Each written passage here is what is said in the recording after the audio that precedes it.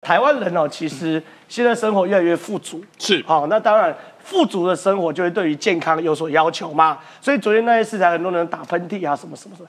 可是其实哦，如果你就活在中国，你根本不管这些事情，为什么？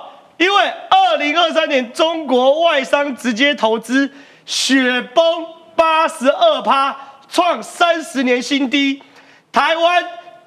附中投资逐年降到历史新低，哎，没有人要投资中国了。哦，现在不是说没有人要投资中国，我简单的说哈，台商的鼻子非常非常灵哦。今年从新年一直到农历过年，到现在都有一零，对啊，对，今年从新年过年到整个过年，然后一直到现在要吃春酒哈，所有的整个台商通通在说哈，现在去中国大陆说能够去赚钱，大家都想去嘛。但是现在黄金的时间已经过去了，但现在中国呢，不管是税率，不管是法律，不管是就现在的整个所谓的未来性，他们都不好。所以发生什么事呢？出现了三十年来最惨的一次哦，对中国缺乏信心。那作为中中国缺乏信心，不是只有台湾的问题哦。好多人就说：“哎呦，你们这个吼就是非常台派的整个媒体啦，所以你们都在说中国的坏话。”不是，现在是德国人、美国人、英国人、日本人，大家都在跑。那为什么呢？因为先跑先赢。因为我最今年过年呢，跟一个台商在聊天，他就说：“吼，我啥四年前我都开始造啊，但是够能对偷对叠熊害卖不出去。”我讲阿基玛别安诺，阿基玛都揣摩然后加吧，现在找不到接盘侠、对，你看日本对中投资，去年哦，对外投资只有二点二趴是去中国，没有错，九十七点八趴都外流啦。三十年前那时候，日本人、韩国人、香港人跟台湾人是络绎不绝。那个时候最夸张的时候是什么呢？我先跟各位说哈，这个是我们台湾的一个台商附中的所谓的有资料的系数哦，最高的一个数字是一百四十六亿，我印象非常非常深刻。那为什么是一百四十六亿呢？台币还台币，美金，美美美金美金，一百四十六亿是美金。那各位哦，你去想哦五，千多亿啊，这是台面上看到的，暗地里面至少是两倍。多少人？我先跟各位说哦，台湾很多那个中小企业，它是没有过投审会的哦。一堂科林的是啊，我跟你讲，我我嫌我背标哎啊，啦我厝吼可以贷款，啊，我土地可以贷款，我几波呢我就可以贷了啊。很多人是这么做的，但是呢，我们先来看哦，从一百四十六亿到后面剩三十亿，那为什么剩三十亿呢？这几年你再看台湾哦，台湾大概从二零一八年、二零一九年开始哦，那时候到南部去就不一样了。过去南部那些工业区哦，有时候哎呀，你来不以后给小喝供，到过几年你进来哦，你不进来，大概秋了了哦，后面你要去买买不到了。对，抢光，各位都是抢光。然后现在最大的问题是在哪边呢？现在最大的问题是中国为什么会在短短的三十年当中，它从整个过去不不是太好的一个经济体，走上了全世界唯一两个最大的，短短的一个时间，各位你去想哦，习近平现在上位，他改了宪法之后才在位十二年哦，对中国现在变成什么样子？是真的他八字太轻，还是中间发生了什么事？所以外媒才会说嘛，我们来看一件事情哦，外媒才会说嘛，习近平正在为两百二十兆元的经济衰退在烧脑。那现在呢，从大事到小事，什么事情奇奇怪怪的都有。我们就讲一个最简单的，最近在整个美国有一个非常大的新闻呐、她是谁呢？赵小兰的妹妹叫做赵安琪，是赵安吉不是在德州吗？开了一台特斯拉，不小心他就说他倒车，有影像哦，倒车倒到水里面去，倒到水里面去他就死了哦。这么大的一个家族，他们家的讣文哦，一张纸只有三行字。你知道这里面水有多深吗？赵安吉连死都不敢声张。不敢讲。那我们说哦，这里面的水一定非常非常深。赵安吉他是中国银行的董事，而且那时候大家往内一看才知道，哇，问题大条。对恒大地产当中，在美国借款最大的一个担保人就是赵安吉。对，那赵安吉现在死了之后，我先跟各位说哦，这整个事情脱钩了，找不到关键点了，是这是一个很大的一个麻烦。那各位，这只是一个小案子哦，这只是一个很大哦。中国从整个整个所谓的科技业啦、电动车啦、轮胎啦什么的，多少的一个企业，几十亿人呢，这是一个很大的一个麻烦哦。那我们再来看第二个，很多人都说向中国低头就能够回到过去，各位这刚好 calling。我们去看看最近哦台湾的一个状况。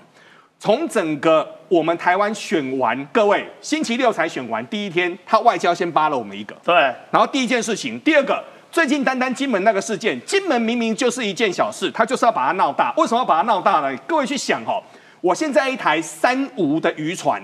后面挂两颗黑金刚的引擎，因为那条渔船我们所有的新闻都有，你可以去看哦。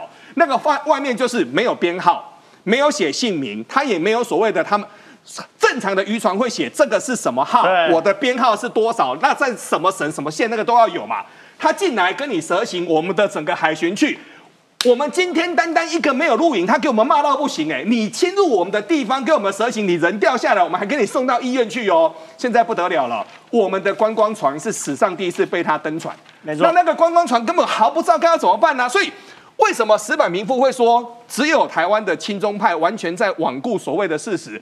现在是连台商都在跑啊。那为什么？我先跟各位说哦，台商他心中当然会有所谓的有有亲台的，有比较亲中的，这个都可以。每个人都可以有他的政治立场，但对于商人来说，最重要一件事情是我今天背着我的钱，带着我的资本，带着我的技术，我到各地去，我要有钱赚。没错，如果我没有钱赚，这个要怎么办？但重点是台湾有没有钱赚呢？很简单嘛。最近全世界在做全世界的半导体公司，第一家叫 NVIDIA，那没话说，现在是世界技术冠军的。第二是谁呢？台积电嘛。对，那我们的除了台积电之外呢，想不到我们的整个高级厂几乎都进去啊，包括像联电啊等等都进去。最近呢，那个孙正义啊，他要开始做 AI 晶片。孙正义做 AI 晶片，他现在呢，第一个一定要找台积电，这是一定要，对不对？他把整个脑筋动到哪边去，你知道吗？他带着阿拉伯人一千亿美金的钱哦，来台湾找谁？找我们的瑞昱跟联勇啊。对，就这么夸张？那为什么呢？因为我们的瑞昱跟联勇原来在过去五十年当中，他们累积下了几万条、几千条的一个专利，他们就说没有台湾的这些科技的地基，先说、哦、这个都是地基哦，我以后的晶片往上组，我组不出来嘛。对，这个就是最大的一个麻烦嘛。好，我们再来看哦，所以很简单，你看啊，中国大家不投资没有关系，可为什么我国银行海外大赚七百七十二亿，光新南向就获一百没有九十错，这二亿个是非常重要的，而且。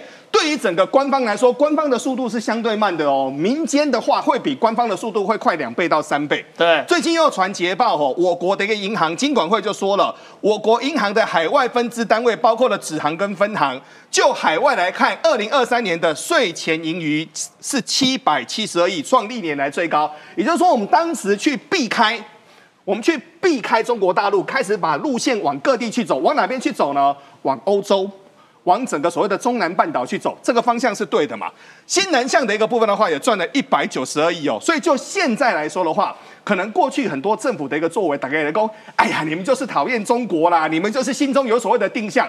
但就现在来说，我们过从过去二零一八年到现在的二零二四年这六年过程当中，其实很多事情你会慢慢离出一个真相，真的是离中国越远的，你就会越安全，而且你赚的钱会更多。对，非常谢谢宽哥的分析哦。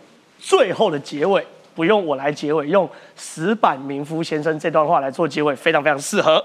石板民夫说：“别的国家没有民进党，总统也不姓蔡，更没有九二共识的问题，但是大家都不再往中国投资了，好像只有台湾的一群亲中派还在鼓吹要和中国加强经济交流，好像只要向中国低头。”两岸经济就可以回到过去台商能赚钱的时代，完全罔顾中国投资已经变差的事实。所以哦，不是台商不赚钱，是整个中国大环境确实非常非常不好吼。所以看看中国，想想台湾，其实我们现在生活的环境已经很值得让大家来骄傲。